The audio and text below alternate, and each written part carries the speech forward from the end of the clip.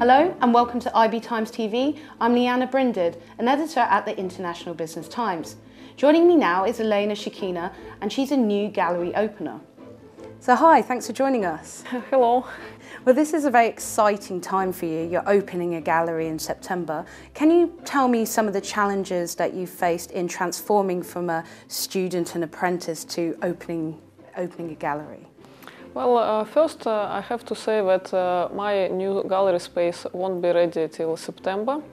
Uh, so at the moment uh, I'm uh, using alternative spaces for showcasing my artist works to be a lead up for my gallery opening.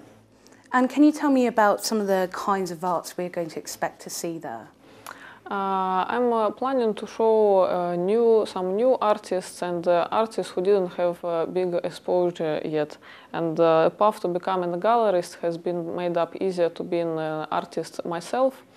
And I understand a feeling of artists struggling to get a space and visibility. And so artists will feel that I'm here to help them as best as I can. And uh, also, I think that strong working relationship with the will be uh, key to success of my gallery. Well, exactly. You've had such a great background as also being a, a student to uh, Israel Zohar as well. So maybe you can tell me a bit about how you think um, his portraits capture maybe an essence and a legacy of the, his subjects. Uh, I can uh, feel uh, a strength uh, of his objects with how he expressed them. And uh, uh, I would like to say about uh, Diana's portrait. I think the first portrait he done, it showed her timidity perfectly. she looked so anxious almost, but in the new portrait which we are showing, uh, you can see her as a strong uh, woman uh, and uh, also another thing uh, I can feel is her warmth and kindness, which is a, great thing, I think, for portrait. Well, she seems like an ideal subject for something like fine art. So what would you say is a, maybe a category or a certain person that you would like to paint eventually?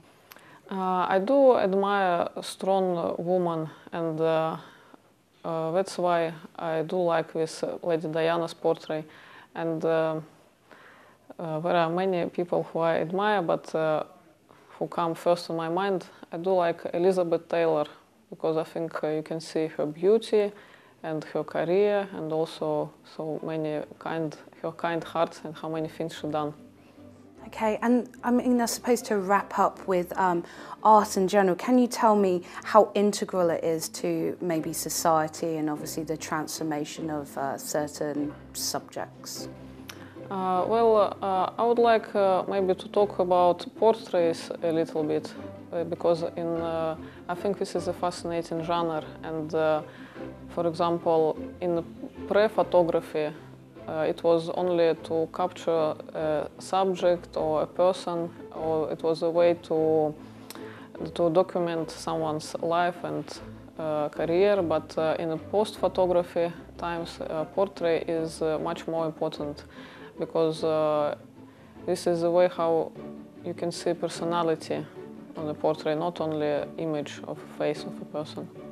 Okay, great. Well, thank you very much for joining us. Thank you. You don't just learn about British history through articles and literature. You can just take a look around you in London at many pieces of art that really signifies our legacy. Joining me earlier was Elena Shchukina, and she turned from student of renowned portrait artist Israel Zohar to gallery opener come September. We talked about the royal family, portraits, but also how art is integral to society.